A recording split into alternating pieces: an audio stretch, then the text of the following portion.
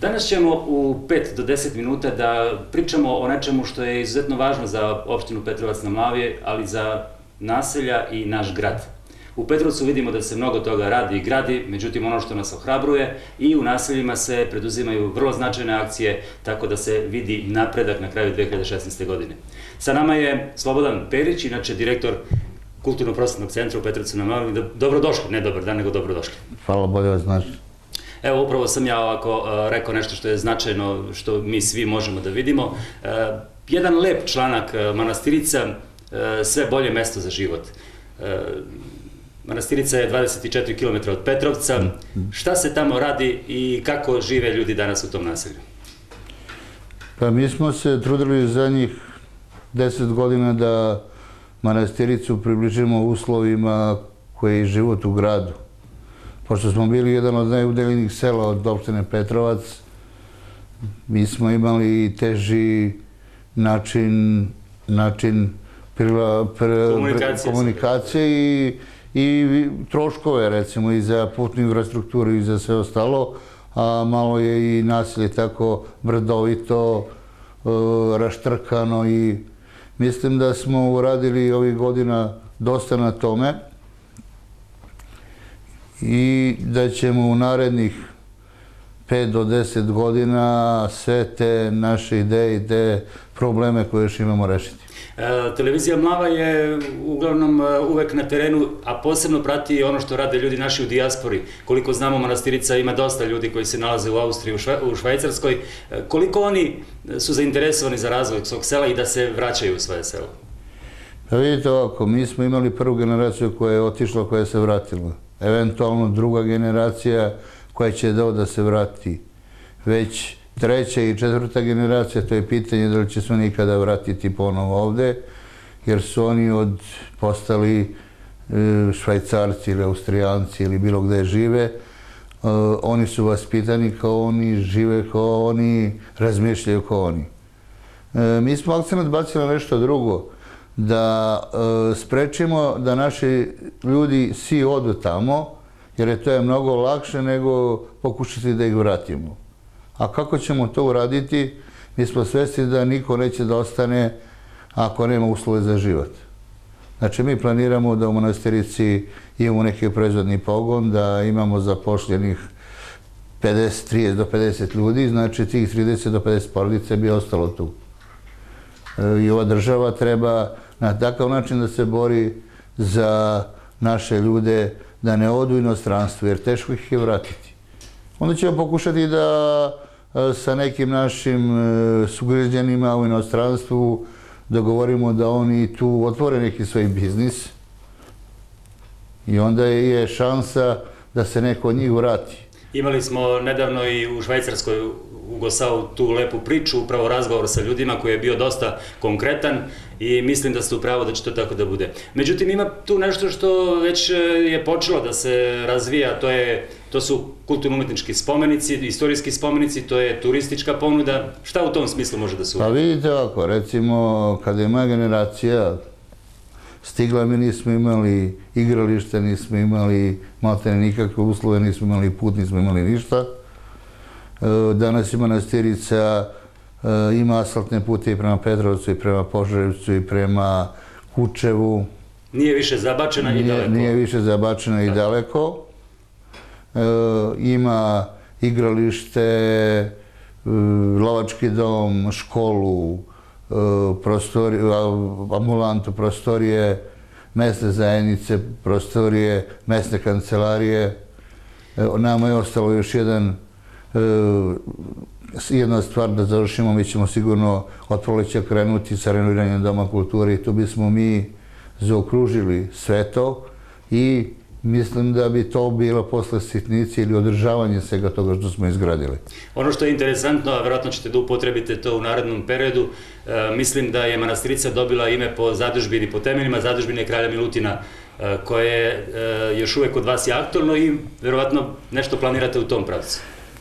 Pa vidite, manastirica je dobila ime po nepokornom manastiru koji je bio zadužen kralja Milutina. On je to jedan od najvećih srpskih vladara. Mi svi kažemo da je najveći vladar car Dušan, ali e, Srb, srpski, srpsko kraljevstvo ili carstvo je kralj Milutin postavio temelj, jedan i od najznačajnijih vladara u dinastiji Nemanjića. Taj manastir je, imao, je bio veliki, imao je monahe, imao je dosta svoje imovine i u kapetan Kočinoj krajini e, narod ovog prostora učestvao u punim protiv Turaka. Turci su iz odmazde uništi, po, pobili svo stanovništvo u manastirici koje je igrom slučaja to bilo na, to je bilo cveti cveti, to je bilo neko veselje seosko i to. Ostavili su samo jednog brata i sestru, da nam ne mogu više da se množe.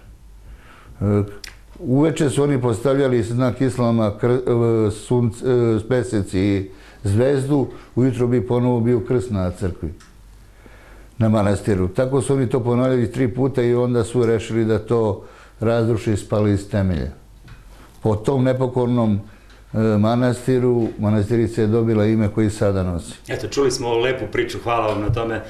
Sad, pošto se mi gledamo i preko i u inostranstvu i, i ovde širom Srbije, da kažemo nešto i o stanovništu. Ko čini uh, stanovništvo u Manastirici i uh, odakle su oni došli u stvari tu na to mesto? Pa vidite ovako, Manastirica je, je Manastiricu čine Eh, vlas, eh, vlaška populacija, ima i neko koje se udao ili oženio tu, ali to je većinom, imaš, imamo starosedeoce koji su tu bili u istoriji koji se, koja se vidi iz nekih natpisa, recimo iz eh, uh, Brančevskog teftera koji opisuje jedno nasilje koje je bilo divljača tu, to je kao prvo nasilje koje se spominje -hmm. u tom popisu. Onda je manastirica imala više tih nasilja na, te, na svoju teritoriju, ter, teritoriju koji su, i sada je to mesto manastirica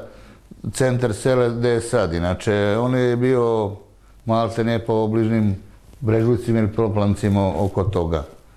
E, Tereni su lepi, tako da podsjećaju na Švajcarsku, samo da se malo uredi, da se... Pa vidite, da se mi želimo da to naši građani koji su tamo taj duh Švajcarske donesu, donesu ovde. Bravo. Jer smatram da mi imamo iste, bolje uslove od njih za razvoj mi ćemo jednu turističku, veliku turističku ponudu uraditi za veliki bubanj.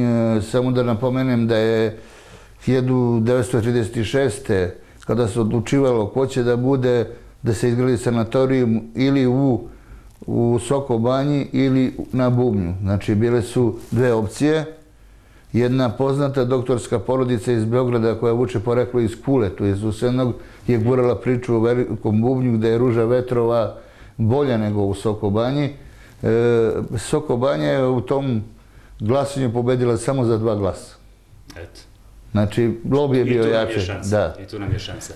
Ovo, reći ću još nešto. To se, gore se radi, treba planirano da se uradi planinarski dom, da se uradi tu spomen, mauzolej poginulim e, borci u Prvom svjetskom ratu. Tu je poginuo i naš proslavljeni sportista Tomašev, Drugutin Tomašević.